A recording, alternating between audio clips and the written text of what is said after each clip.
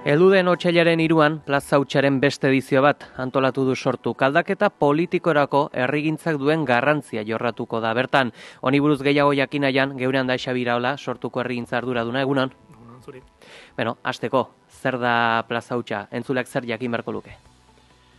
Bueno, nik uste, e, ez dakit, egundaka albiste egun berean pilatzen diren garai hauetan, nik uste e, beharrezko dira tarteka ere, e, bueno, ez dakit, patxa gehiago hartu, eta, eta bueno, orokorrean Euskal Herriaz, eta, eta konkretuki herrigintzaz ere, bago eta egiteko, gero ez espazio gehiago e, izatea, ez? Eta zentzuretan plaza hutsak, bueno, badu bokazio horretarako, ez? Ba, egunerokotasuneko zurrumbiotik e, ies egin, eta nolabait, ba, patxada gehiagoz, e, lasaitasunez, ba, bueno, Euskal Herriaz, herrigintzaz, herri honetan e, sakonan ematen dira aldaketez, ba, lasaiago gogoeta egiteko, ez? Beraz, plaza hutsak, bueno, e, hori du bukazio, ez? Mm, egiturak eta hori nola nola burutzen da, ze mai, ire, mai irekiak egiten dira, sorasaldia, plenarioak?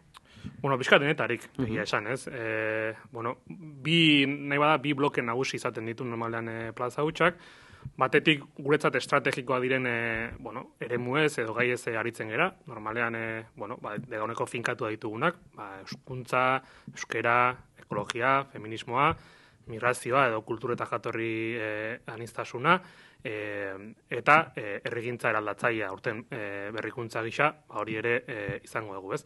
Eta gero bigarren bloke batean, ba, bueno, gehiago, patxada gehiagoz ja, ba, oroko horrean, pixka bat, e, gure asmoa izaten da, e, hori, Euskal Herriaz eta herrigintzaz lasaiago e, gogoeta egitez. Eta urten, bueno, berezitasun bezala edo, e, mai inguru bat izango dugu, e, eta bertan, nolabait, ezkerra bertzalearen, e, nolabait, sozialismo ereduan inguruan, edo gure jendarte ereduan inguruan, ba, bueno, balasaiago gogoeta egiteko plaza edo e, izango dugu. Mm hori buruz ere galdetuko dizut, baina horre hain zuzen larun bat honetako gaur sortzian plaza utxa ere aipagaietako bat bazen, eta horre aipatzen zen, irakurri daitekena da, betiko galdera zarrei erantzun berriak eman behar zaizkiela.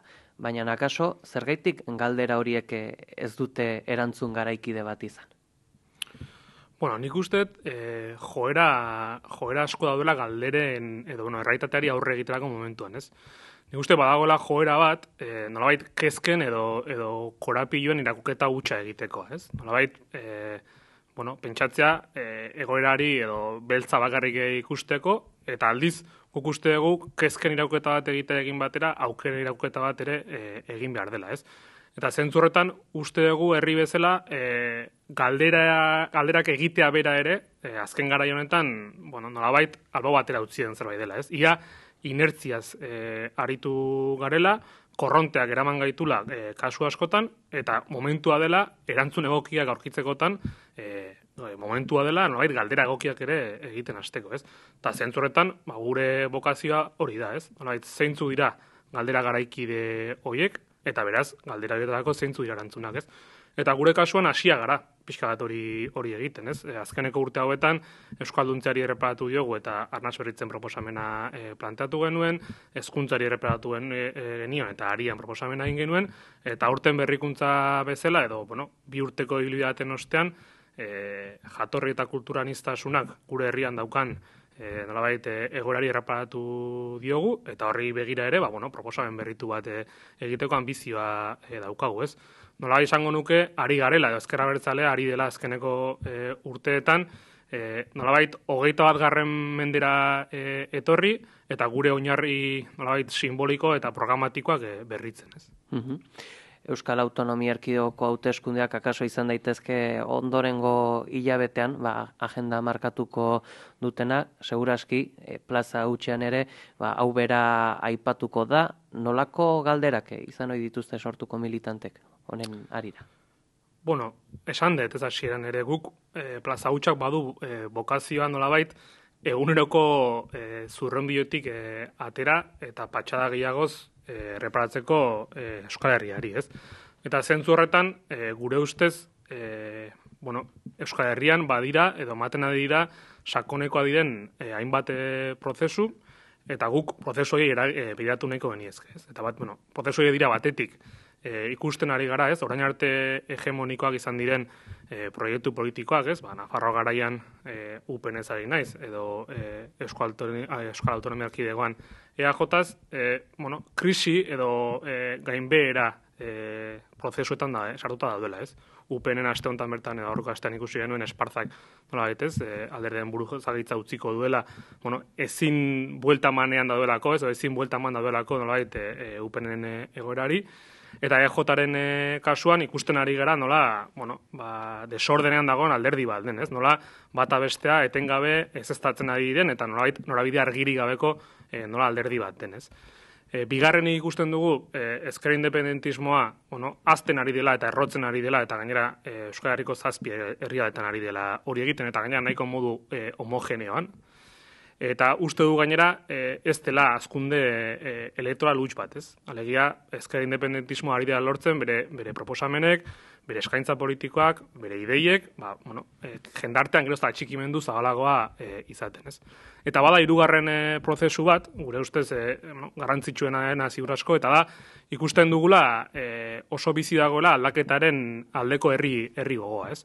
E, igaro berrien udazkena, guretzako horren adibide oso argia da, e, oso denbora gutxian, bueno, Euskalduntzean, e, zaintzan, e, osasun gintzan, e, Palestina herriaren alde, Euskal Herria nazio bat denaren aldarikapenaren bueltan, hainbat eta hainbat e, e, mobilizazioetan milaka pertsona e, kalera atera, atera digelako. Ez? Beraz, e, honekin esan nahi dudana da, bueno, gure ustez badiela oso prozesu, bueno, sakoneko adiren prozesu hainbat, eta nolabait, hautezkundea kontestu horretan egisten diela. Alegia, e, guretzako, e, nolabait, e, kasik e, askotan hauteskundeak oso termino azalekoetan, oso termino e, kosmetikoetan planteatzen dira, baina gure ustez, e, bueno, Euskal Herrian aldaketa sakonekoa den eta arrokoaren aldaketa bat e, ematen ari da, zer ikusi gehiago daukana herritarren balio eta printzipioen e, aldaketarekin, eta zentzuretan, ba, ikusi barko da, hauteskunde hauetan, konkretuki, aldaketa gogo hori, ez, edo sakonekoa den aldaketa e, hori, zenbateraino iristen den e, islatzera hauteskunde hauetan, ez?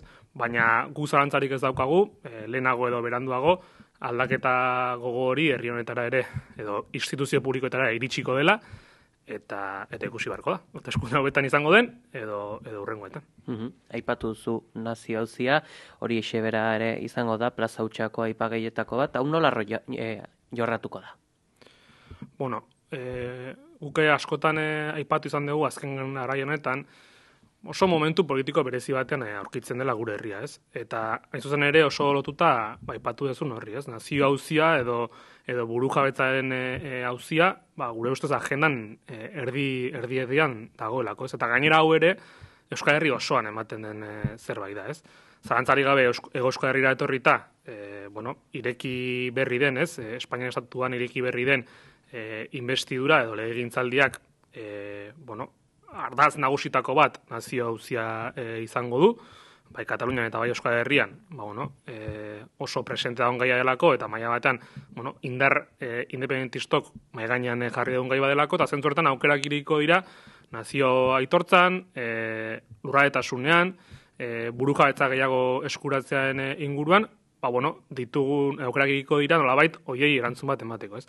Baina Ipa Euskal Herri dagokionez ere, azken asteetan ikusi dugu nola e, mugimendu abertzaleak esaterako, bueno, etapa instituzional berri baten beharra planteatu duen, edo duela gutxi ere, e, jarreren txegarai ez, herri elkargoko lendakariak ere, nola nolabait herri elkargotik araoko e, instituzio baten beharri zana edo e, planteatu duen, ez? Beraz, E, esan bezala, e, nazio hauzia loturik, e, bueno, aurrengo garaietan, e, buru jabetzaren ez da hori, edo, edo aukera hori e, irekita gongo da, eta gure ardura izango da, horri ere, ba, aldenen jan, aliketa zuku gehien ateratzea, eta herri bezala, ez, nolabait Euskal Herrepublikaren bidean, edo, edo estatu balortzaren bidean ere, ba, nolabait guretzako, e, edo, ez, gaiurrera iristeko, nolabait, kanpamendu basea, ba, albeste e, igotzeko, ez. Mm Horretaz gain ere, beste aipagaietako bat ere bada, esan dugun euskal e, sozialismo horren oinarriak e, proposatuko dira plaza hutsan, badukazu zerbait aurreratzerik?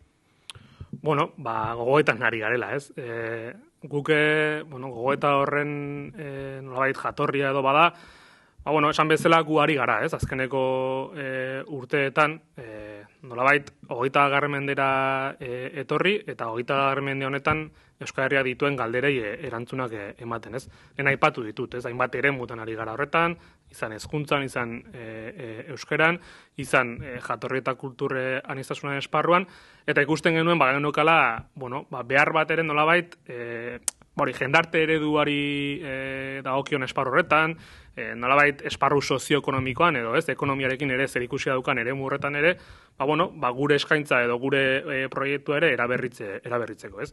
Ta zentzurretan e, hori da egitera goazena, ez, alegia, e, ezkerra bertzalearen jendarte eredua, ez, e, e, finkatu, hortzi muga bate finkatu, eta hortzi muga e, bidean, ba, bueno, ba, bide hori nundik eta nola egin dezakegu, ba, zehazten joa, e, joatera, ez, hortara goaz, ez.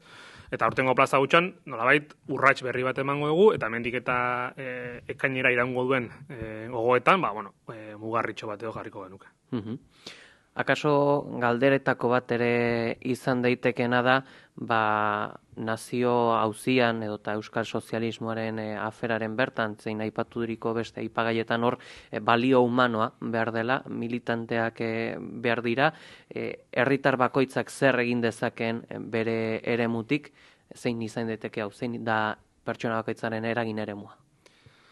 Bueno, guk esan bezala herrigintzaz eh, hitz e, egiten hitz egingo dugu edo militantziaz hitz egingo dugu, ez? Eta abiatzen gara maila batean, ba, kezka batetik, ez? Eta kezka da, gero eta jendarte, jendarte individualistago batean e, gaudela, edo, edo, edo gaur egun e, daukagun jendartea gero eta individualistagoa dela, ez? Eta zentzu horretan, bueno, e, arroko batean ere gaur zautzirako esaten nuen, ez?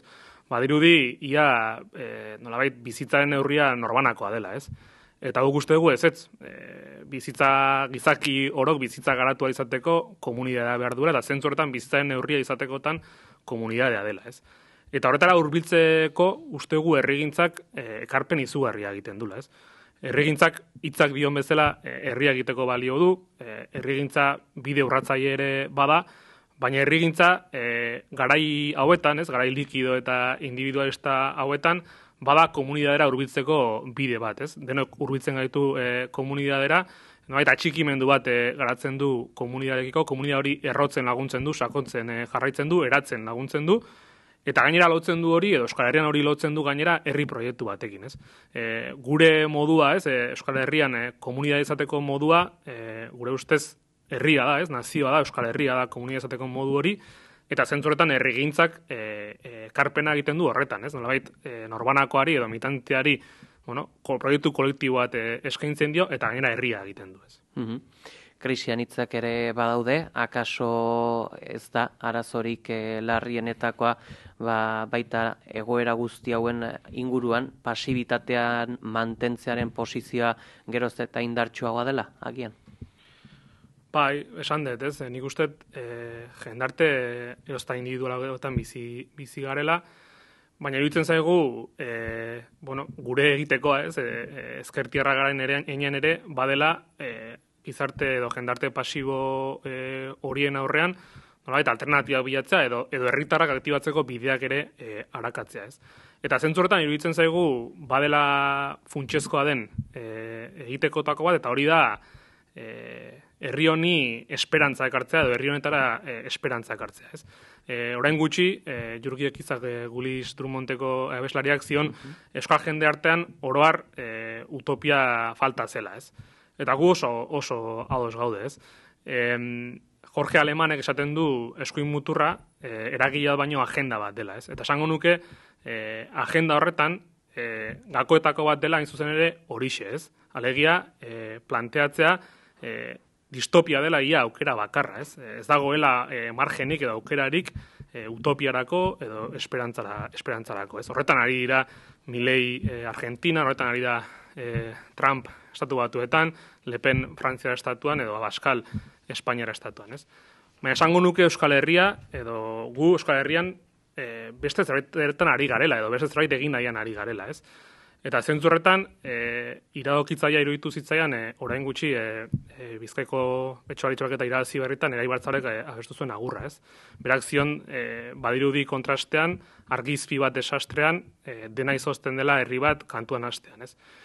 Iradokitzaia iruditu zitzaian, iruditu zitzaialako hain zuzen ere hori egin zuela, ez? Nolabait, e, bueno, ba, mundu gerozta distopiko baten e, aurrean, nolabait, esperantzari eta utopia ateak irekizizkiola edo legioak irekizizkiola, ez? Eta e, zentzu horretan esan nahi izan zuela, edo bentzan Nikola irakurri nuen, e, Euskal Herrian baietz. Euskal Herrian nolabait e, posible dela, ez dena eginda daukagulako. Zalantzari gabe eskuin muturaren agendak ere e, Euskal Herrian badu zarbidea handia, ez? Orain gutxi ikusi genuen adibidez, e, Bilbon egondako eraso homofo baten bidez, ez?